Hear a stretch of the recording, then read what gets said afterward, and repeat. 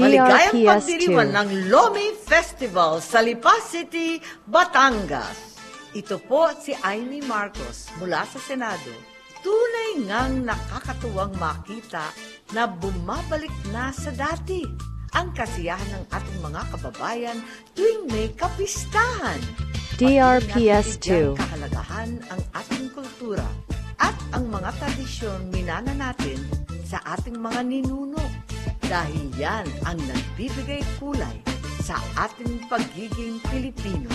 Muli, ito po si Amy Marcos, bumabati, maligayang kapistahan sa inyong lahat. DRPS2. Sana palagi kayong manatiling ligtas,